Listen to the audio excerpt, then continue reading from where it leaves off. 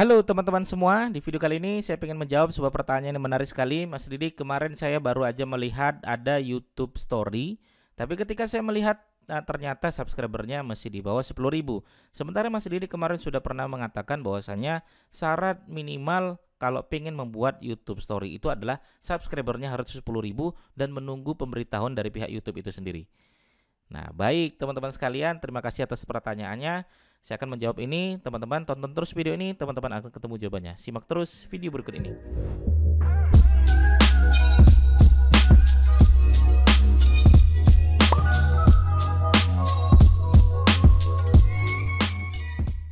Baik ya teman-teman sekalian ya teman-teman harus bisa membedakan ada yang disebut dengan YouTube Story ada juga yang disebut dengan YouTube Source ya jadi ada dua teman-teman perbedaannya ya ada YouTube Story ada YouTube Source Nah, YouTube Story itu apa? YouTube Story itu adalah YouTube sebagaimana storynya persis seperti Instagram. Ya, persis seperti Instagram. Ya, di mana sekitar beberapa uh, satu minggu itu baru baru habis gitu kan, baru mati. Sementara kalau Instagram itu ya sekitar 24 jam baru habis ya, baru tidak bisa dilihat lagi.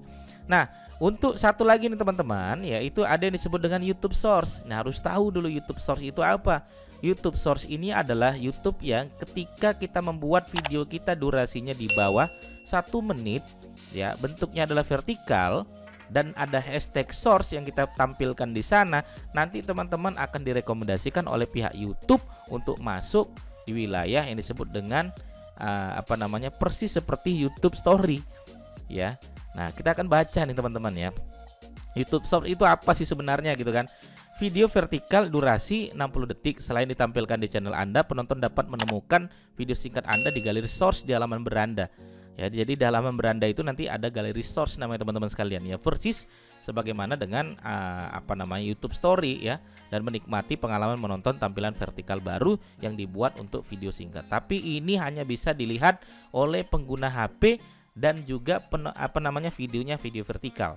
Oke, baik ya kita akan coba bedah ya teman-teman ya. Jadi itu yang disebut namanya adalah YouTube Source ya teman-teman ya.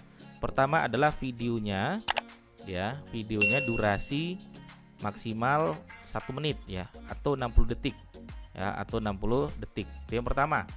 Harus punya video yang durasi uh, apa namanya maksimal satu menit atau 60 detik. Itu yang pertama.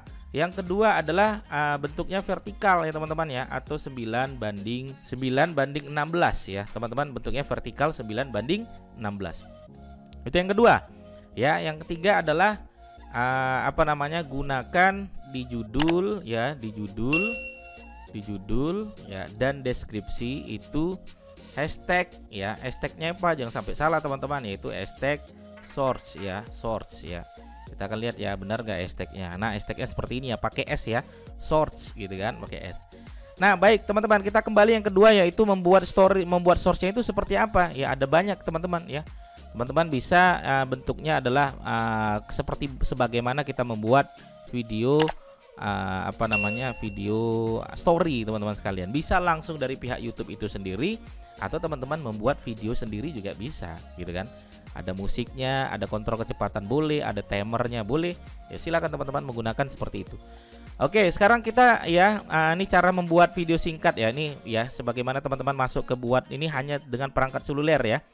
Nah, ini sebagaimana kita buat video langsung dari pihak YouTube boleh. Kemudian hanya sekitar 60 detik kemudian kita uh, close kemudian kita publish, tambahkan hashtag di dalamnya. Ya. Ini ya, tambahkan hashtag ini penting banget nih sertakan hashtag source di dalam uh, judul dan juga deskripsi. Oke, boleh tambahkan musik, boleh tambahkan tidak musik, boleh. Nah, ya, kemudian ya teman-teman yang berikutnya apa? Berikutnya ini ya. Nih, ini pertanyaan yang paling sering nih. Apakah video source itu dapat dimonetisasi? Nah, dapatkah ia sebagai uh, dimonetisasi? Iklan tidak akan ditampilkan pada video source. Dia bilang seperti itu. Baik video source ditemukan di galeri source maupun uh, melalui pemutar video singkat. Selain itu, video source tidak akan menghasilkan pendapatan langganan YouTube Premium. Artinya, YouTube Source itu tidak berlaku untuk dimonetisasi, teman-teman sekalian. Jadi kalau ada yang mengatakan bisa dimonetisasi, nah kalau menurut saya tidak bisa dimonetisasi. Ya, karena dia langsung videonya langsung muncul seperti itu. Ya. Nah, jadi video short juga tidak berkontribusi pada kelayakan program partner YouTube. Tetapi subscriber yang yang diperoleh dari penayangan video short akan masih diperhitungkan dalam nilai minimum kelayakan. Jadi, teman-teman sekalian, makanya tuh ya ada orang yang subscribernya cuma 1000 tapi kok bisa muncul uh, persis sebagaimana YouTube Story. Tapi ketika dibuka subscribernya ternyata baru 2000. Tapi YouTube source-nya di sini penontonnya udah sampai jutaan tuh banyak teman-teman sekalian bahkan ada yang ratusan ribu gitu padahal subscriber dia kecil. Dia memancingnya dari mana? Dari YouTube Source. Ya maka teman-teman silakan digunakan silakan dipraktekkan YouTube Source-nya karena itu nanti akan dimasukkan di bagian yang persis dari YouTube Story. Tapi teman-teman tetap masuk di uh, apa namanya tetap masuk di sini ya. Apa namanya di video kita di sini ya. Tampilan YouTube Short nanti tetap masuk di sini tapi nanti dia bisa masuk di beranda khusus untuk YouTube Short itu sendiri. Jadi ada keunggulan YouTube Short itu masuk di beranda bagian YouTube Short masuk di video channel YouTube kita masuk di beranda channel kita juga jadi asik sekali teman-teman. Silahkan aja dipraktekkan ya. Mungkin setelah ini nanti uh, saya akan coba juga beberapa channel saya yang subscribernya belum sampai 10.000 subscriber tapi kita sudah menggunakan YouTube Shorts.